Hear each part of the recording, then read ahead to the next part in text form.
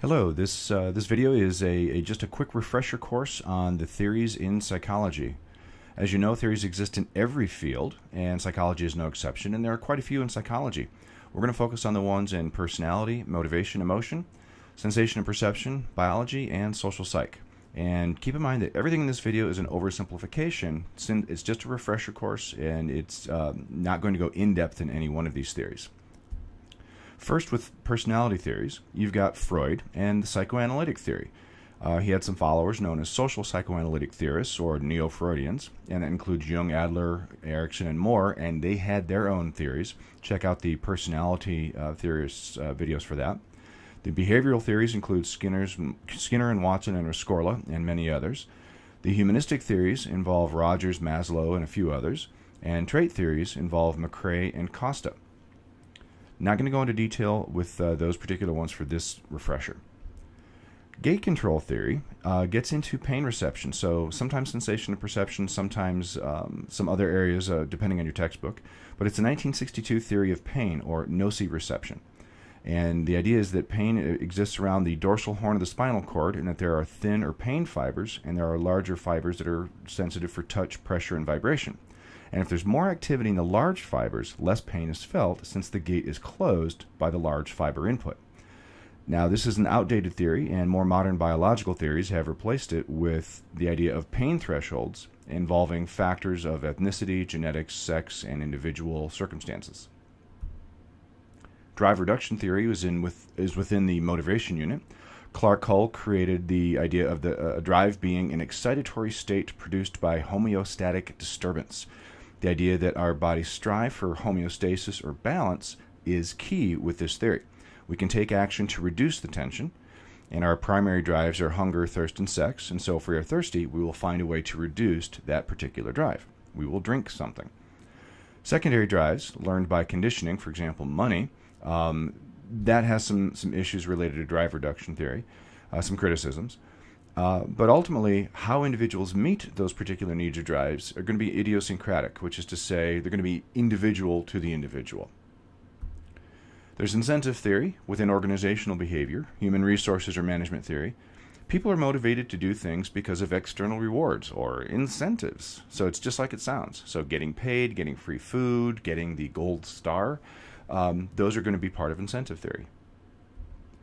Expectancy theory is, again, within motivation and organizational behavior, and it's about the cognitive process of making a decision. Our main motivation is going to be based on the desirability of the outcome of what we choose to do. That is, how closely are the expected results of a choice going to match up with the desired goals that we have?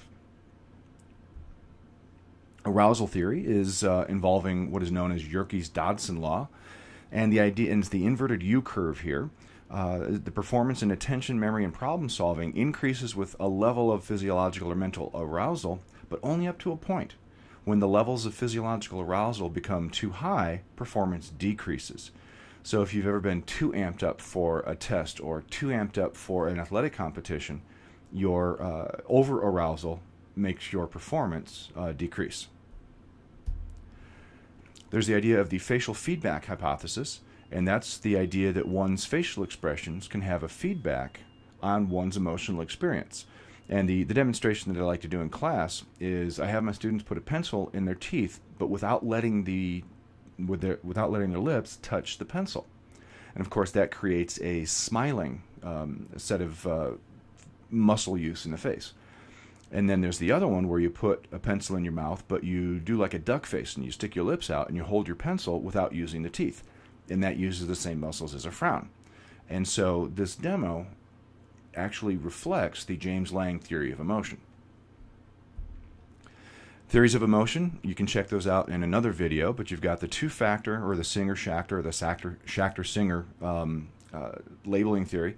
The key thing here is the cognitive label, two factors, the physiology and the label. That's the one that's most uh, accepted today. There's the James Lange, physio first, then emotion and then the Cannon-Bard. Emotion comes from the hypothalamus and dorsal thalamus stimulation. And uh, so you've got those three theories of emotions, more detail in another video.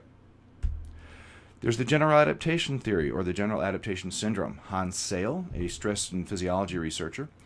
The general adaptation syndrome is alarm, resistance, and exhaustion. And that's involving the hypothalamic pituitary adrenal axis system that deals with stress. So the hypothalamus sends signals to the pituitary gland, which sends signals to the adrenal gland, and that axis system will help create um, the sympathetic response, sympathetic nervous system response. Then there's the stress prevention and adaptive coping, uh, and the ability to have resilience. Those are going to be keys to coping.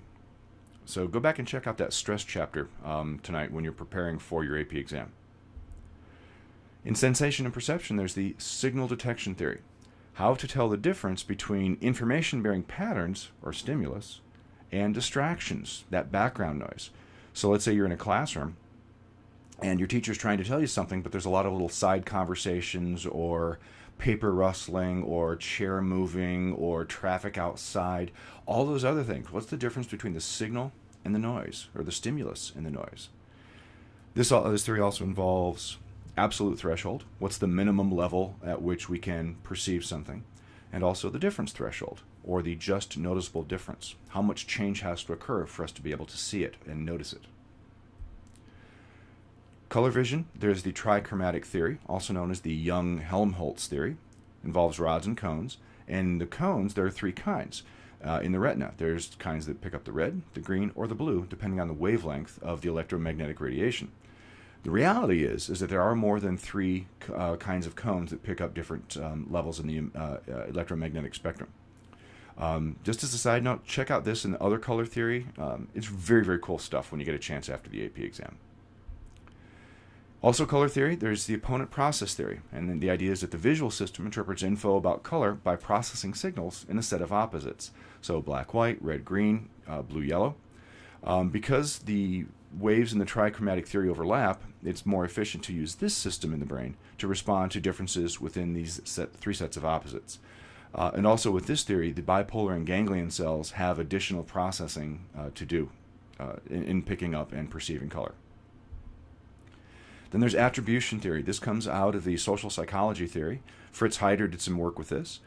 Attribution, how we explain people's behavior, including our own or other people's behavior.